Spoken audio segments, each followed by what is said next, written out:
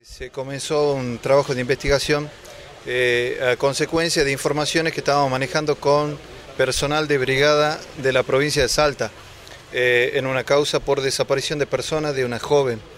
19 eh, años de edad. Informaciones que surgieron con el personal de brigada y esta provincia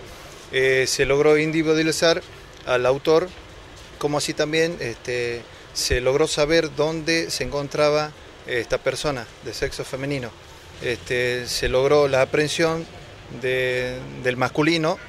mayor de edad, como así también se pudo este, salvaguardar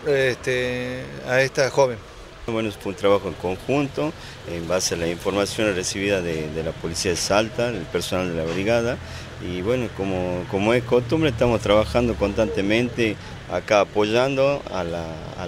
todas las dependencias de lo que es el área de nuestra banda de Río Salí, este, ha pedido nuestro intendente ahí, este, colaborando siempre con ellos para que por brindar una mejor seguridad.